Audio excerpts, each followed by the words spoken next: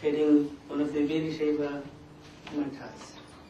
Uh, you have already introduced about our educational activities by the researcher Dr. Aya Ikegame. Um, I'm going to just say a few words before I respond to uh, the researcher Dr. Aya's uh, research paper. It was a pleasant surprise for me when I received the email invitation for this seminar from Dr. Madhu Purnima Kishwar, who came to know about me from Professor Maya Ram, uh, whom I had met at an inter- interfaith dialogue at Shantivanam of Swami Abhishiktananda in Tamil Nadu recently. Am thankful to Dr. Madhu Kishwarji for her kind invitation. You know her better than myself. As a moderator, she is not a strict disciplinarian and seems to be the firm believer on the eternity of time seeking knowledge.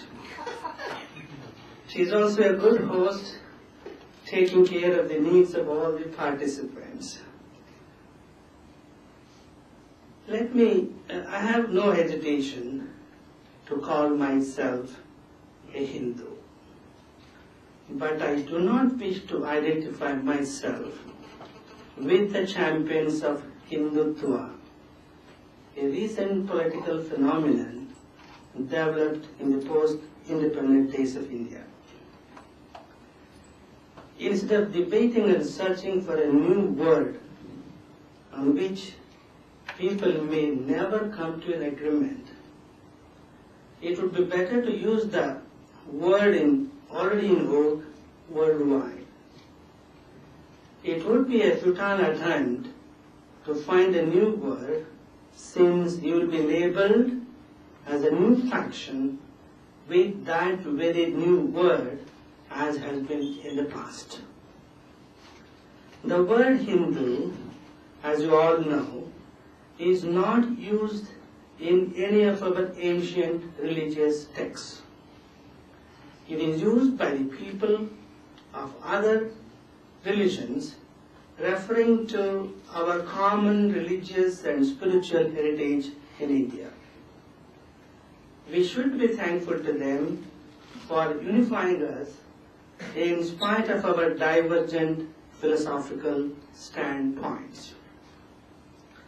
When all the divergent religious faiths that have sprung from on the Indian soil have an ultimate goal of losing their nama rupa and merge in that eternal boundless ocean of bliss. Why to bother about a new world?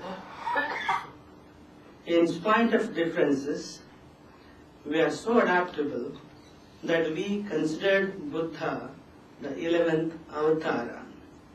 Had Jesus Christ born in India, I, I believe we would have made him the 12th avatar of God. Even if you successfully coined a new word, people have their own way to meddle with it. We have a center called Taralabalu Kendra in the Rabindranath Tagore Nagar of Bangalore. If you, if you ever come to Bangalore and ask for Rabindranath Tagore Nagar, you'll be going round and round and will never reach it. People would raise their eyebrows. I cautioned the participants when I organized the 10th World Sanskrit Conference at our center in Bangalore in the year 1997.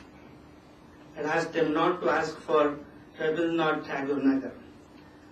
But if you ask for RT Nagar, anybody will certainly guide you, even a rickshawala, where to go. Same is the case with another famous road in Bangalore, namely MG Road, which stands for Mahatma Gandhi Road, which nobody would know. If you ask for Mahatma Gandhi Road in Bangalore, nobody would know. If you say MG Road, then they'll certainly take you to that road. The organizers of this seminar, uh, no, wait a minute. uh, why to waste our time and energy arguing on the street? What is the utmost what is of utmost importance is to reach our destination. The organizers of this seminar have already made it very clear that the word Hindu is used here in its broader sense and we have come here accepting it in good faith. Let's march forward and not hang on the signboard. I am a Veershaiva by faith. Yesterday we heard of Janma and heard of Janma and Karma. I understood, if I understood Hindi properly, His Holiness Shankaracharya ji, who had a broad vision of Hinduism, stressed the importance of both Janma and Karma.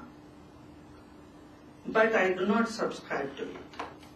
As a Veerashaiva, we believe जन्मना जायते शूद्र।